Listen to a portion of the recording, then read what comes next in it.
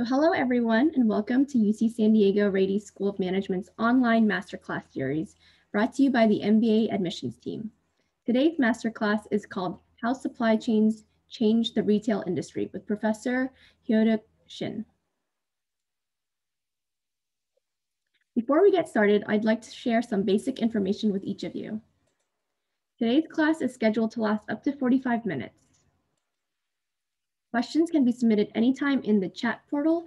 And as your moderator, I may be able to answer your question immediately or during the presentation, or to schedule a personal advising session for any of our graduate programs, please email radygradadmissions at ucsd.edu. So um, I'm Aimee Huynh. I'm the MBA Graduate Admissions Coordinator. I've been working at Rady for almost two years now. I actually originally came from Virginia and moved to San Diego two years ago. I previously worked in real estate finance, but wanted to pivot to working with students um, in a collegiate setting. And so I um, started working at Rady. And I'm actually currently in the Flex Evening MBA program. So if you want any, if you have any questions about um, the program itself, you feel, feel free to ask me about my own experiences. So before I welcome Professor Shin to lead us through a masterclass on how supply chains change the retail industry, I would like to take a moment to share with you the Rady School's mission, which is at the heart of everything we do. Here at the Rady School, it is our mission to develop ethical and entrepreneurial leaders who make a positive impact in the world through innovation, collaboration, and knowledge. The Rady School students, alumni, and faculty over the last 17 years have developed over 180 companies, benefiting and impacting the innovation economy of our region, state, country, and the world.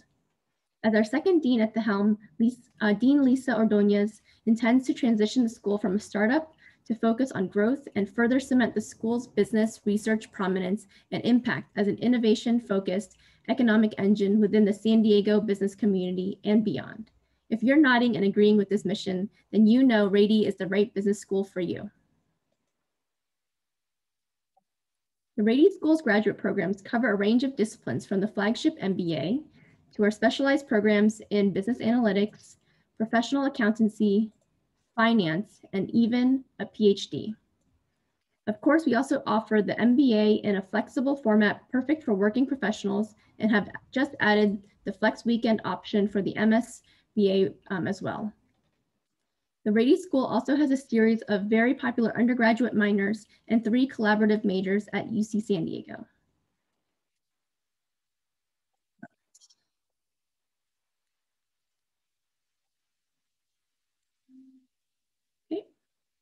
Each of our programs are currently being reviewed on a rolling basis within the rounds listed here.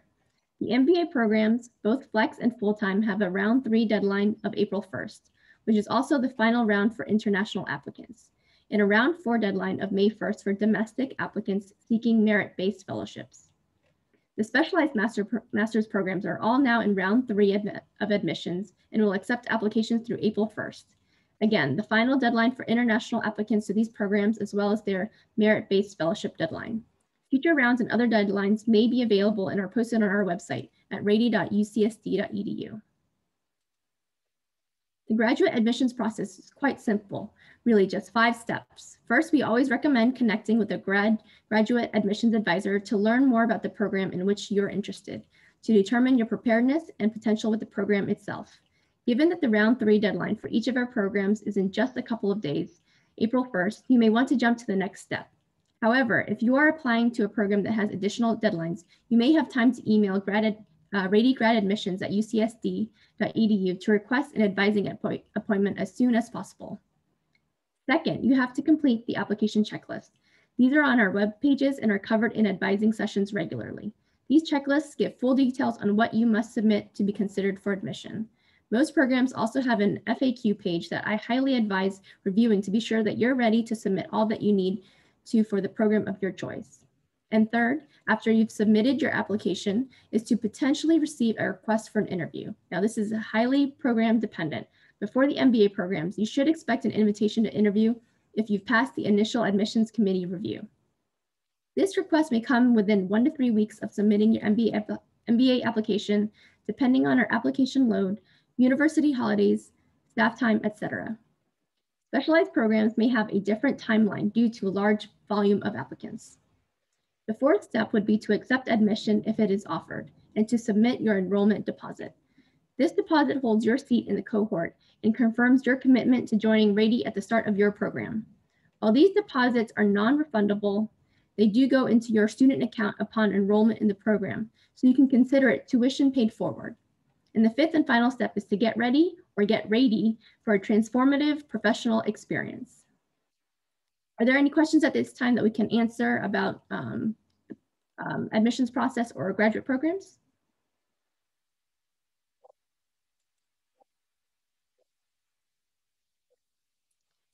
Uh, if not, then we will continue on.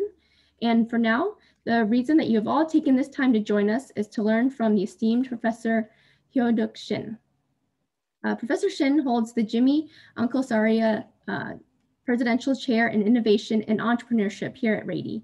He teaches the MBA core curriculum courses, as well as MBA electives and independent study courses.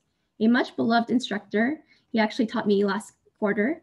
He has also taught courses for the MS um, Business Analytics program, PhD program, as well as the executive education courses. He is um, nearly an annual recipient of student awards for excellence in teaching and MVP, most valuable professor.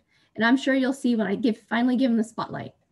Prior to joining the Rady School, Shin was in an assistant professor at the Kellogg School of Management at Northwestern University. At Kellogg, he won Chair's Core Course Teaching Award. Shin earned a PhD from Stanford University, um, an MS in Statistics from the University of Chicago, and an MS in Management Engineering and a BS in Industrial Engineering from the Korea Advanced Institute of Science and Technology. Professor Shin's research interests include collaboration and information sharing in supply chains, forecasting and innovation investments in supply chains, open source software and network securities, and the motion picture industry and operations uh, marketing interface.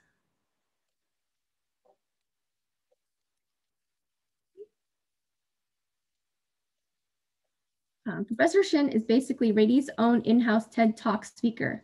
With a number of presentations on the Rady YouTube channel from supply chains, uh, insights and modifications in pandemic, which was part of our market impacts of COVID-19 faculty webinar series, from his work with the Institute for Supply Chain Excellence and Innovation, um, so ISEI, titled Envisioning the Future of Global Supply Chains, what is supply chain and why is it important? A presentation about Rady's undergrad supply chain minor and uh, collaborations with UCSD's um, Data Science Institute to today's online masterclass for prospective and incoming Rady students. Professor Shin is a man of many talents and we are very pleased to welcome him, uh, welcome him here today. Professor Shin, if you are ready, uh, please lead us through this online masterclass on how supply chains change the retail industry. Great. Thank you, Aimee. Um, I'm really flattered. Okay, folks, uh, thanks all again for joining this uh, online class. Um, let's, without further ado, let's begin. Okay, so um, Aimee, can you enable me to share the screen? Yes. Thank you. So today I'll talk about the retailing industry, in particular related to the supply chains and how the retailing industry has changed, uh, in particular leveraging the supply chains so let me share my screen. Okay. Great. So let's let's begin. Um, so to begin with this, uh, the retailing industry, let me start with a little bit of a history of retailing industry. Right? So if you think about the retailing industry, to begin with, uh, it was around 19, 1895 started with a little push carts, right? People come with the push carts and sell things to the villages. That's the beginning. However, one big uh, innovation happened in 1916, and that was the year when the world first supermarket came along. Okay, and that world first supermarket was Piggly Wiggly. Um, so that supermarket is a great innovation in many ways. First of all, compared to a push cart, the supermarket Piggly Wiggly was big, much bigger than the typical push cart, okay? in addition to that, uh, the way that they innovated is, um, first of all, before Piggly Wiggly, the typical way of shopping was people will come with their notes on what to buy, okay? And then they will give that notes to the clerk. And the clerk will then go to the store space and then pick things up and then give it to the people, the customers, and then the customers will then pay. Okay, that was the, the way of business of selling things before Piggly Wiggly. However, Piggly Wiggly came up with this great idea of supermarket in which what they did was they asked customers to work for them. Okay, what do I mean by that? They said instead of them getting the notes and then go there and pick things up, they asked customers to go there and pick things up. What kind of apples that they want, what kind of cucumbers that they want. It was the work for them. Now it's the work for customers right? In the supply chain world, we call that outsource, right? So they outsource their own work to the customers without paying them a penny. What a great idea, right? In addition to that, when they did that, although customers doing the work for them, for Piggly Wiggly, customers were actually happier, right? They were happy to work by themselves, right? So that brought this idea of supermarkets. Now, if you think about that idea, that idea itself is, again, it's 1916, pretty old, but at the same time, it's still active, right? Think about what uh, Starbucks did in terms of their online apps of ordering, right? Specifically, it's, it's the same idea, meaning typically it was the Starbucks agent's work to take orders from the customers. Now they don't have to do that. Now customers are doing the work for Starbucks and to some extent, for some customers like myself included, I like that. I like that doing it myself. Sometimes ordering, go, go to the agent and ordering takes time. And also it can be confusion and things like that. Now I like it. I like it doing by myself. Although it's a work for me, I like it, right? That again, outsourcing it to customers if you think about any any any industry where you are right? If you think about that kind of ideas in which i can actually outsource it to customers it's a less work for me. And also customers are happier with that. That i will say it's a great innovation right? So that is one of the retailing innovation in the world of a supermarket. Now that's the past. Now let's think about the current right? In terms of the current as I said, Piggly Wiggly was a big supermarket. However, if you look at it now, that's small, right? In terms of the scale, it's even bigger these days, right? Let's say Costco, Walmart, and Whole Foods. In terms of the scales, it's much bigger than Piggly Wiggly, right? However, there's a reason why I picked those three companies, okay? Although, again, in terms of the scale, they are all big. However, they are all different Okay, first of all, Walmart, right? In terms of the scale, it's it is really big, and there is a why, there is a reason why companies are seeking for that scale. By doing business in a really big way, it becomes cheaper. Okay, why it becomes cheaper? First of all, think about if you have a big supermarket, right? It's not the case that you need to have thousands of them? Maybe you can just have hundreds of them to cover the whole United States. Meaning, if you have to actually ship it from the suppliers to the store, you don't have to ship it to thousand different stores. You can just ship it to hundred different stores in a big scale. With that, there will be an economies of scale, right? So that you can actually save cost, right? So that is if you save cost, then you can also sell it cheaper to customers. Right? So that is the advantage of Walmart. Now, Costco is, is uh, slightly different. It's, it's big, uh, that's the same. However, if you think about Costco, what are the typical, let's say, best sellers in Costco, right? In terms of the best sellers in Costco, believe it or not, Costco is very famous for selling toilet papers, right? Toilet papers. And now there is a reason why Costco is selling toilet papers and toilet papers being their number one seller. Okay. Now, first of all, in Costco's case, different from Walmart, it's membership based. Now, what does it mean? In terms of membership based, for they will get their membership fees from the customers. Not only that, they know who their customers are. There will be some surprises, but most likely they know exactly how many customers that they have because of their membership. Right? So in that sense, if you think about their demand forecasting, right? It is extremely easy to forecast the demand of customers in Costco's case. They know how many customers that they have through the membership. And also think about toilet papers, in particular, the demand of toilet papers. Right?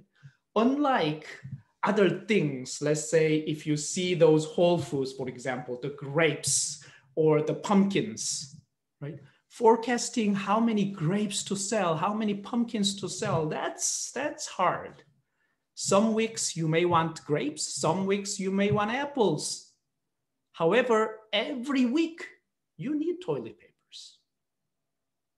In terms of the demand, if you know how many customers you have, and if you see their demand of toilet papers, you know exactly, pretty much, how many toilet papers that you will sell every week, right? Meaning, in terms of Costco's planning of their inventories, it's very easy. They don't have to keep tons of toilet papers to sell for one month, right?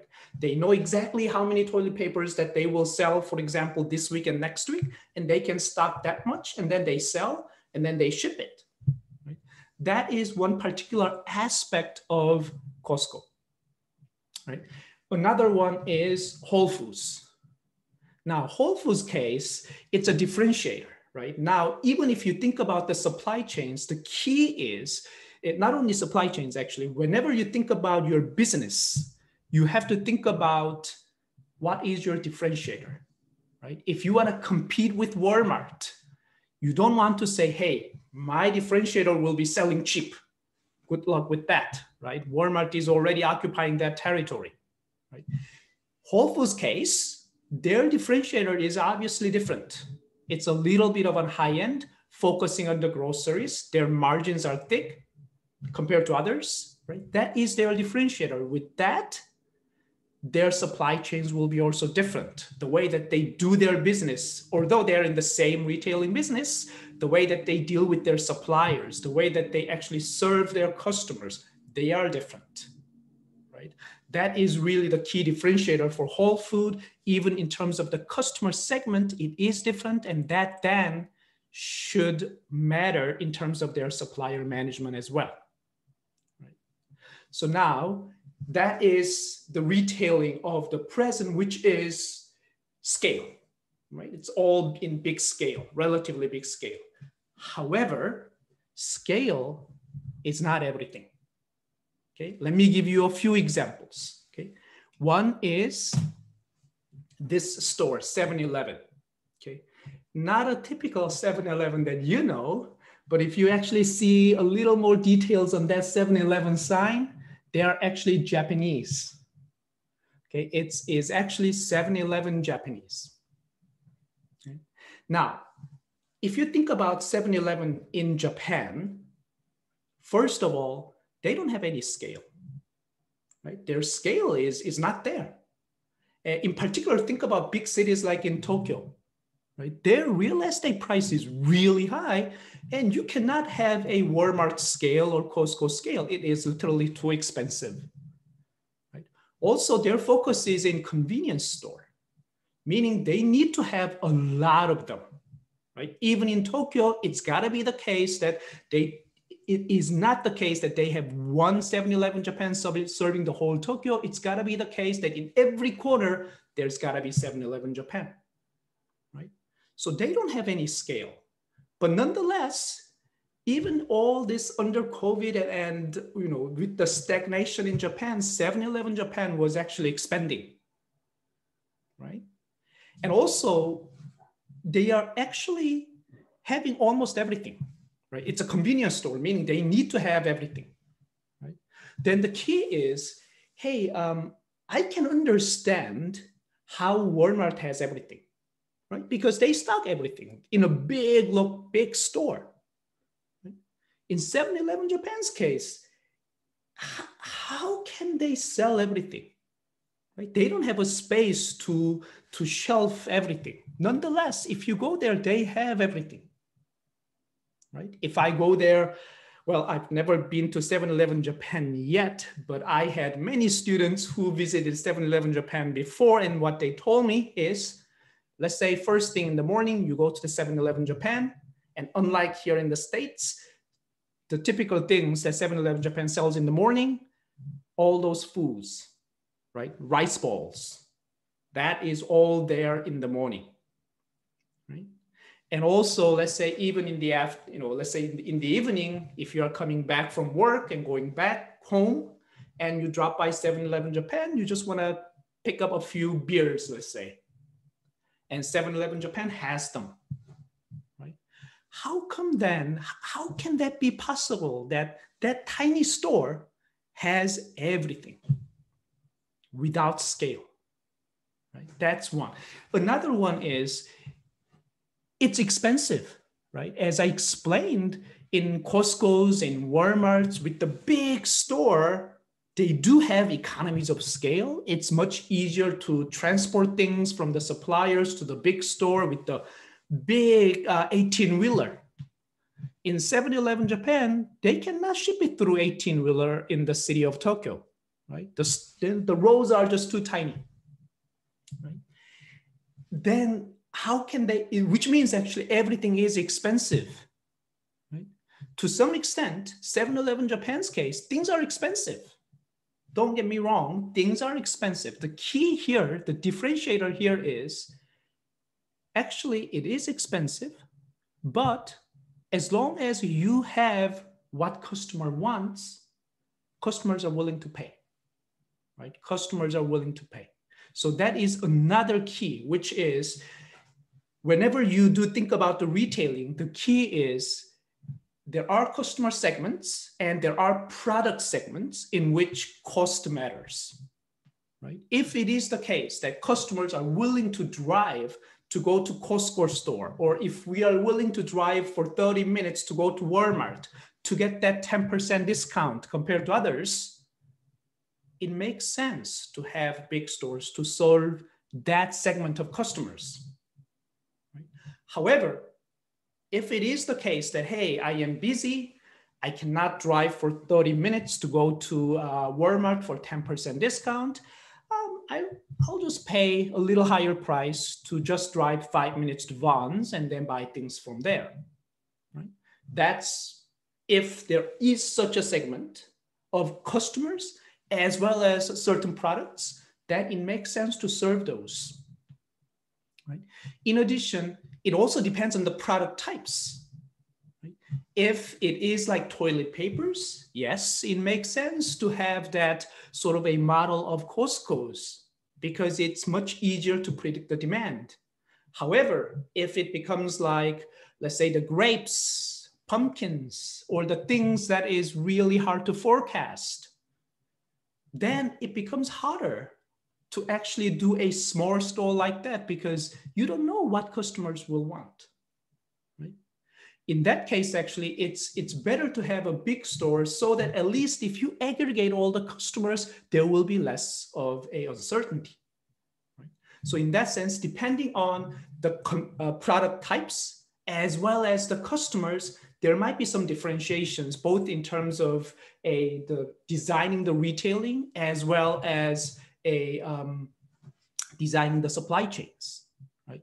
Now, this is one example of a small store uh, still surviving well. And there is another example from my home country, which is Korea. So if you think about uh, this, uh, one of my friend taking photos, where do you think he is? Well, it's not here yet in the States but he is actually in the subway station, right? So in the subway station, that you know, in a typical retail industry, right? That photo is exactly the same as the placement of the refrigerator in every Tesco Home Plus, right? So you know where to look at. So now my friend is taking the photos with the app on the way to go to work? And then put it in the basket. And then that will be then delivered before he go, go home in the evening. Right? So that's another sort of a business model. And it's not only on the subway stations, right? It's also in uh, bus stations. As long as you have time to do something else, you have time to wait, that valuable time will not be wasted. The companies will look at that time and try to grab your attention, right? So that's one point that I wanna make. Another point that I wanna make is, we will talk about the retailing of the future, right? However, one of the key sort of a cost implication of that is, in this case, as I said, customers will order online and then somebody will deliver it to customers, right? That delivery called a last mile delivery, it is very costly, right? Think about that. One reason why companies are going big is to enjoy economies of scale using those big 18 wheelers, right? I mean, it's not only 18 wheelers. You saw what happens to those Suez canals with the huge ship, right? There is a reason why those ships becoming bigger and bigger. Not only carrying thousands of containers, that ship carried almost 20,000 containers, right? And there is a reason why companies and ships are going bigger and bigger. Clearly, one reason is the cost, right? So in that sense, actually shipping in a big scale from the suppliers, from the manufacturing plant to the big box retailers, that's cheap. What's expensive is the things that you cannot do with 18 wheelers, that you cannot do with those big ship. Right? In particular, that last mile delivery right? From the retail stores to the customers' homes. That is very expensive, right? That last mile delivery, you cannot do it with 18 wheelers. You gotta do it with the Uber. We gotta do it with small trucks. It is expensive, right? And with that, somebody has to pay. The key question is, who will pay? Right? Or in other words, are the customers willing to pay for that? Right? Yes, it is convenient that I don't have to go for shopping, but hey, I am shopping for $200. Am I willing to pay 20 bucks for the delivery?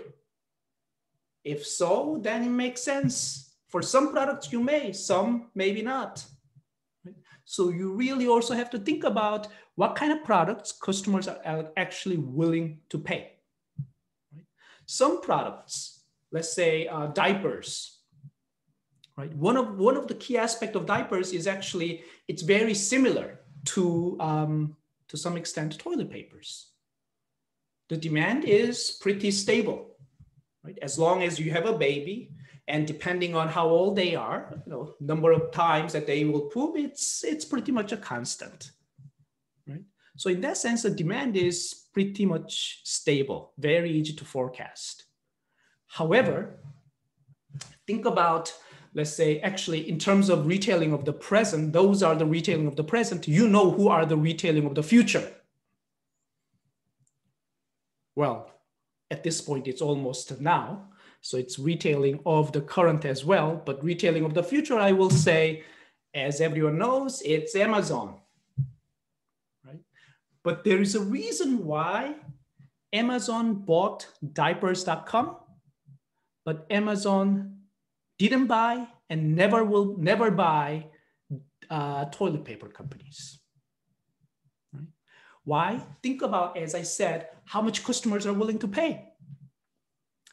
Although those two are very easy to forecast in terms of the demand, toilet papers, one, it's extremely bulky and expensive to deliver, but also it's not like newly having babies couples, you know, the new couples having babies. Right? Toilet papers, everyone needs it. And uh, typically customers are willing to drive for 10 or 20 minutes to buy 10% discount on toilet papers. However, diapers, oh, those couples with the baby, just a newborn baby, they don't have time. Right? For them, that 20 minute or an hour shopping time, that's the money, meaning they are willing to pay for it. Right? With that, Amazon comes, hey, there is a customers right, who are willing to pay for it. Let's go for it. Right? So in that sense, it makes sense. Now though, Amazon is one thing, strange thing happened, right? Which is in Amazon's case, it's about scale, right? Amazon is in delivery business. It delivers from typically their distribution centers, and their distribution centers are huge, right? which has a lot of scale. That's, I mean, especially if you think about the history of Amazon, that's how Amazon killed, let's say, the Borders or Barnes and Nobles, right? First, Barnes and Noble came and then killed all those mom and pop stores with the scale, and Amazon came with the hey, you talk about the scale, Barnes and Noble stores are big, but let me show you my distribution center, right? which is even bigger than Barnes and Noble. And Amazon came and killed Barnes and Nobles. But think about what happened recently. Strangely enough, Amazon actually built their own bookstores, their own mom and pop bookstores without scale. What happened? Clearly Jeff Bezos is not a stupid guy. He, there should be a reason why. Okay. While you're thinking about it, let me just detour a little bit to give you an answer, in particular going into another industry, which is a movie industry. Okay. In the movie industry, um, there are also multiple stakeholders. First of all, there are studios who are making contents and then they distribute that content in multiple ch- channels. One channel is the theaters, another channel is selling DVDs. In particular, Walmart is actually one of the big DVD sellers, and also some rentals like Blockbusters, Netflix, and Redbox, right? And uh, these days also streamings, right? Amazon and iTunes. Now, the, this is a Amazon, oh, not Amazon, but movie industry supply chain Okay. Now, in this movie industry supply chain, there are multiple stakeholders. And with that, there, there can be interesting dynamics, in particular related to technology advances. Right? Think about what happens now. In the past, right, you cannot have your movie theater at home, right? TV quality versus theater quality, it's very different. Now, it's pretty similar right? I will say you can have that experience of movie theaters, at least in terms of the quality of the movie and the sound and everything. It's, I mean, it's not the same, but it, it's pretty similar, right? And also distributing the content became much easier, in particular than before, right? I mean, you can streaming the videos or the movies. What can be easier than that? With that, the whole dynamics changed, right? In the past, actually theaters and even Walmart had a big things to say, demand a lot of things to studios, right? Even in Walmart actually demanded all the studios saying, hey, if you guys wanna, uh, uh, let's say, release your DVDs, it's gotta be on Tuesdays, right? Walmart demanded that and the studios had to follow whatever Walmart says. Although, if you think about it, that doesn't make any sense. If you want to release the DVDs or videotapes, why Tuesdays? Right? I mean, why not Fridays or Saturdays? That's exactly when the movie theaters release the new movies. However, Walmart said so. And in this case, actually, Walmart's perspective was hey, I, as a Walmart, I know that Tuesdays, it's the least traffic, least store traffic. So at least if, if the new movie DVD is coming on Tuesdays, some people will come to Walmart on Tuesdays to buy, let's say, those DVDs. And with that, they will not come and buy only DVDs. They may pick up a few other things as well, which is good for Walmart. So let's demand studios to actually release the DVDs only on Tuesdays. However, now, as I said, because of the technology, distributing content became much easier. With that, the negotiation power also swift changed. Right? Now, it's not the case that Walmart has that much of a power. It is not the case that theaters also has a lot of negotiation, negotiation power, not anymore. Right? Now, at this point, the key is really all about who are the content owners, right? Because of that easiness of distributing content, the key is who has the content, right? With that, people will adapt. People will adapt, and companies will adapt, right? Think about even Netflix, even Amazon, right? Even uh, other companies. What are they doing? Right? Netflix and Amazon, they were in the content distribution business, not anymore. Right? Both realizing that, hey, content owner is now the king, both Netflix and Amazon, they actually went into that business of creating their own content. Right? Otherwise, those studios can easily eat up those other players. Right? So in that, with the technology advances, even in terms of who is the king, who has more negotiation power, that will change in the whole value chain. Right? With that, I just have I just want to discuss a little bit about a blockbuster and Netflix. Right. So first of all, blockbuster. Right. The story of blockbuster here is a simple story, which is um, the way that Blockbuster actually killed all those mom and pop stores, it's pretty much very similar to a Barnes and Nobles and the Borders, right? With the scale. Right? Instead of mom and pop, small store, Blockbuster came with the big store, right? And with that, they killed all those mom and pop rentals and they dominated. Right?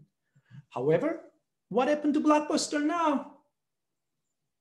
Unfortunately, there is only one blockbuster chain in the whole world, which is in Bend, Oregon. So next time when you have a chance to travel to Bend, Oregon, make sure that you drop by there to see the last blockchain, uh, blockbuster store.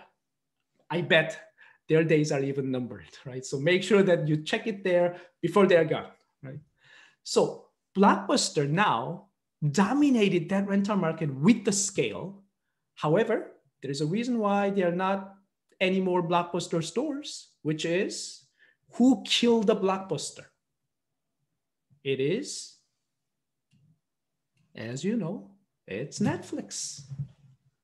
Again, the way that Netflix killed Blockbuster, it's pretty much the same as the way that Amazon killed Barnes and Noble. Let's go for the scale. Look at the Netflix distribution center.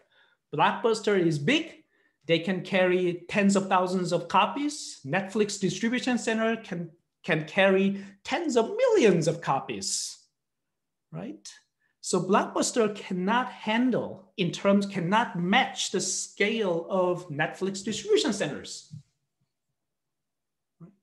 Now, that's one way that, again, Netflix dominated the Blockbuster and uh, conquered the industry of rentals. However, not yet. Um, I bet some of you know this company, the opposite of Amazon. Instead of Amazon, we have Redbox, right? So the Redbox, actually, Netflix killed Blockbuster, right? Big Blockbuster stores. But Netflix, even now, couldn't kill that small little Redbox. Why? If Netflix can kill that blockbuster, why not this Redbox? It Redbox is almost like mom and pop store, even smaller than mom and pop store, right? If you actually see inside that little Redbox, it's not thousands of copies, it's hundreds of copies, right? Typically 500 or 600, right? So number of copies, it's pretty small in Redbox even compared to mom and pop stores, it's smaller than that, but still, Netflix couldn't kill Redbox. Why is that? Why, even with that big scale, Netflix couldn't kill Redbox? Here, really, it comes about product choice. As I said, Costco's case, it's not the case that they keep every single product. Costco is actually known for having a limited a stock keeping units. Right? Typical Walmart stores have 50,000 SKUs.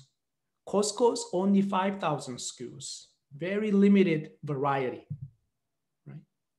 So their product choice, Costco's product choice is very particular. Redbox also the same. If you think about what kind of movies that Redbox keeps in that little red box, it's not every single videos. It's not every single DVDs. If you want the DVDs that was released last year, good luck with that. Right? Redbox keeps only those movies that's that are recently released. What does that mean? If they are the recently released movies, you know that customers want it you really don't have to forecast what's the demand. You know that there is demand, right? So you actually turn over those videotapes pretty quickly. You stock it, those recently released movies, you rent it, and after two weeks, again, you just stock those newly released DVDs, and then you rent it, and then after two weeks again, you turn it really fast. If it is the movies that you don't know whether people will want it or not, you have to keep those movies for a while to test it. For them, they don't have any, any freedom to test. Right? They only keep those products that they know that people will rent. Right? That is why it becomes extremely hard, even for Netflix's scale, to beat the red Redbox. It is extremely hard to enjoy those economies of scale if you keep those products that's known to sell easily and fast. Right? With that, let me come back to Amazon. Okay, so in Amazon's story, as I said, they started with this scale, the big scale, right? With really, really big scale. And that's the way that they dominated. Now, however, they are doing this little Amazon stores and even in terms of fresh food, they have Amazon Go as well, just like actually 7-Eleven Japan, very tiny space. Right? Now, the reason why they can do those is actually pretty similar to, to some extent, Redbox. Right? Why? Now, in terms of products, they keep all kinds of products. What's different is think about what Amazon knows about you. Think about what Amazon knows what you will buy. I am sure they know more about you than yourself. In particular about what, what will what you will buy. So in that sense, they basically made, Amazon made, because of their data that they have, the information that they have, all those products that Amazon keep, they know you will come and buy. Right? So it's not the case that they will stock and then say, hope that, okay, let me just keep this book right here and people will come and pick it up. No, they know exactly, okay, if we will stock this, people will come and buy. Well, actually, I know that somebody is driving to buy this book. Let me keep it right there. Right? With that power of data and information, they can actually keep it in a small scale. Right? Even in that small bookstore, even in Amazon Go, even without the scale, right? even without the actual scale, they made all the products just like a toilet paper. They know exactly when the customers will come and want to buy. Right? So that's one way to enjoy that economies of scale, even without the economies of scale, without the physical actual economies of scale, which is in the information and the data. With that, I'll wrap it up here. If you have any questions, feel free to type it in the chat and I'll be happy to answer.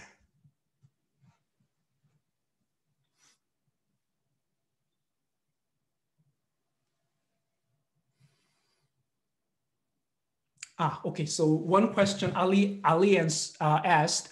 So if let's say Amazon with their advanced supply chain is really testing the last mile of delivery, Well, don't quote me on this, but my bet is for sure yes. In particular, if I am the CEO of UPS, I'll be extremely worried. Right. Uh, and, and as a matter of fact, my my personal opinion is the days of UPS is just, you know, numbered, right? I mean, think about even think about, let's say these days, how many Amazon trucks you see. With that I mean, literally, uh, UPS, uh, actually, Amazon canceled their contract with UPS, right? And that's not a small contract. UPS, substantial revenue was coming from Amazon, and without it, and Amazon will picking up even more trucks. I, I mean, it just the, I don't see the way that UPS can beat Amazon, right? So the, eh, my short answer is my guess is yes. The last mile delivery, in terms of you know, last mile delivery, is extremely hard to enjoy the economies of scale. However, with Amazon's information and the data, they are the best sort of seated in knowing exactly where to deliver and how efficiently to deliver the last miles. So with that, I'm my my answer, my short answer will be yes.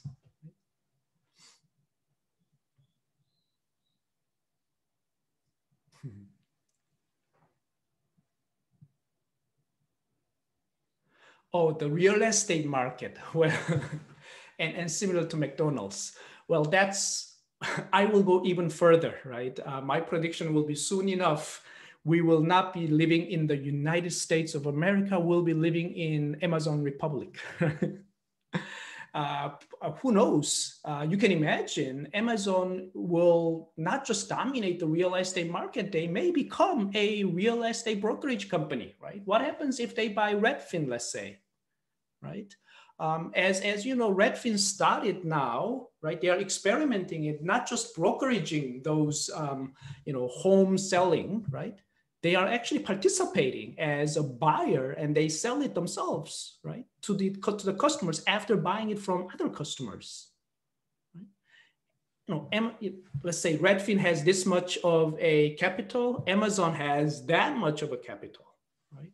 So again, who knows? Not only real estate market, but one day Amazon may become a real estate brokerage company.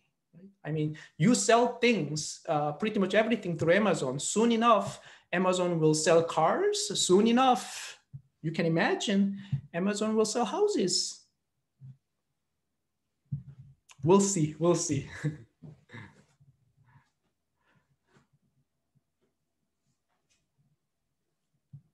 Well, yeah, I mean, also in terms of Amazon, uh, one thing that we didn't discuss is even the web services, right? Amazon Web Services. So um, that's that's definitely another story. Um, if you want to hear that Amazon Web Services, come to the class, join Rady, and you'll hear more about Amazon Web Services as well.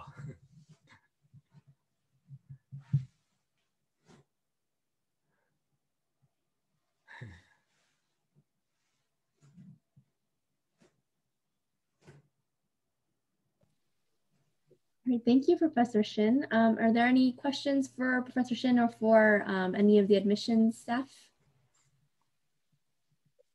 Uh, you feel free to unmute or you can put your questions into the chat.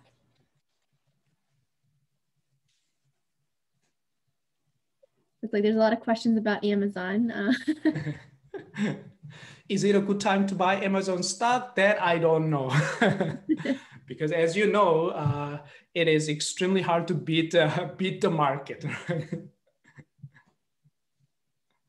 um, but yeah, so this is just a little sample of um, the amazing classes that you can take here at Rady. Professor Shin is an amazing professor, so um, he's definitely, I definitely really enjoyed his class last quarter and look forward to hopefully learning more from him. But feel free to ask any other questions. Um, uh, so there was a question if this material will be covered in operations management.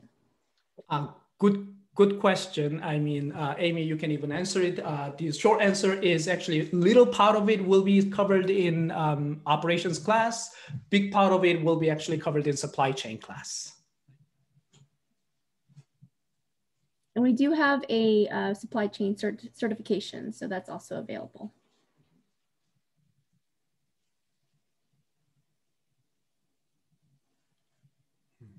Any other questions?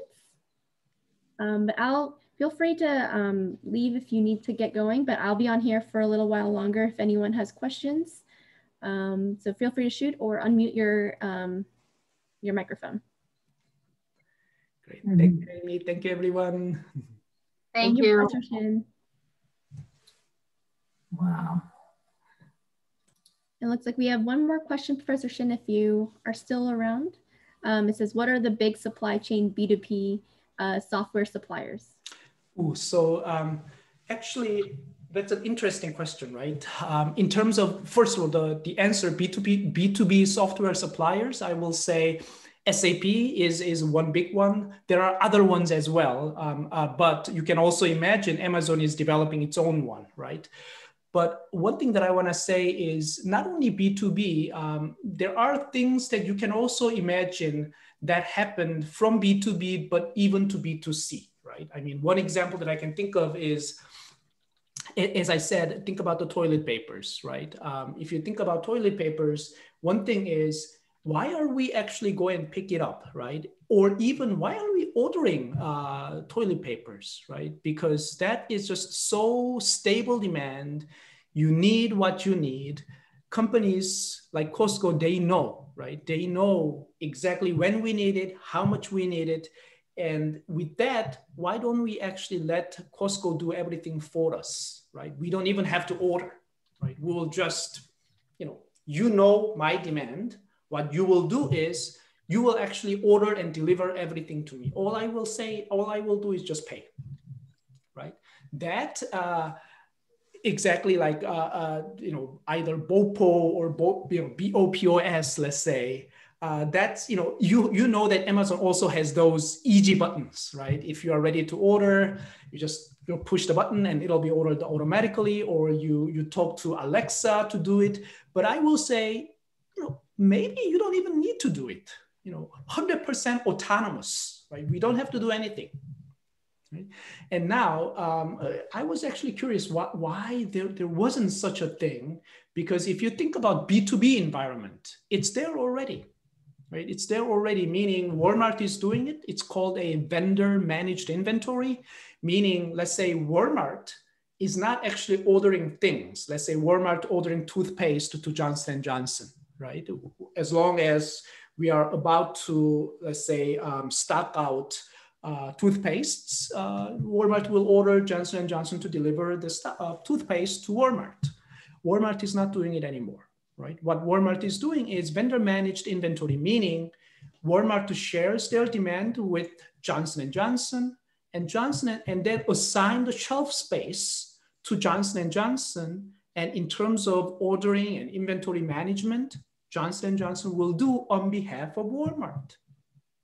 So in that sense, why not doing it us in B2C in that sense? Why don't we let, let's say, Amazon or, or Costco to manage our inventory of toilet papers so that we don't even have to worry about it? So in that sense, really, uh, nowadays I see that that sort of a boundary of B2B and B2C gets a little bit blurred as well.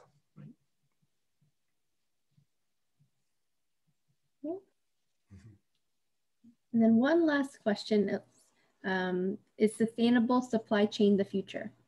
Ooh, sustainability is, is a big question. Okay, it's, it's really big question. And the only thing that I will add though is it is really up to customers, right? Um, I have done some research related to sustainability and the cost.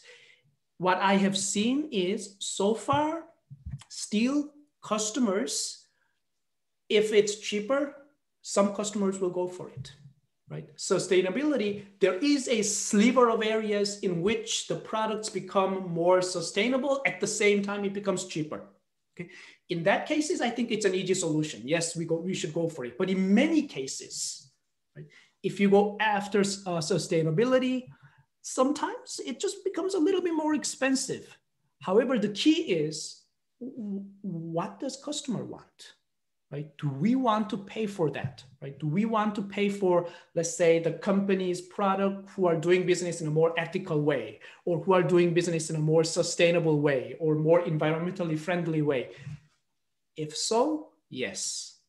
However, it really hinges on the customers, right? As long as customers are looking for cheaper cost, I mean, again, think about the toilet papers. Do you really care about sustainability when you buy toilet papers? Or let's say, you know, that is 10% cheaper toilet papers, let's go buy for that, right? If customers are willing to pay for it, it'll be, it'll come. However, without it, it'll be a tough, tough battle to win.